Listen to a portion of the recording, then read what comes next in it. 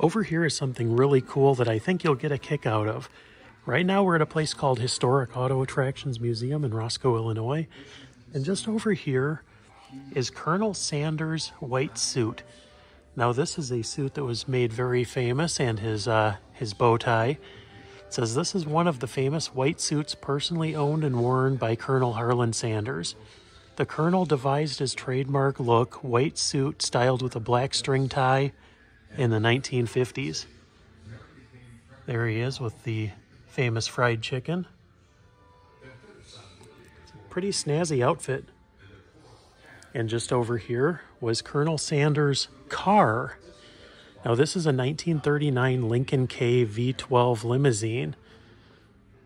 It's got the open top here. And just over here, you can see the CS for Colonel Sanders. You take a look inside there.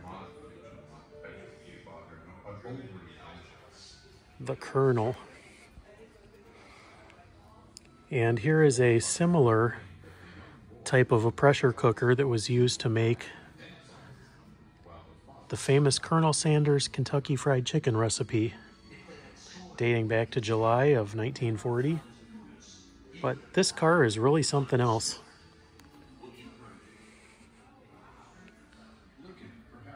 That wasn't owned by Colonel Sanders, that would still be pretty cool.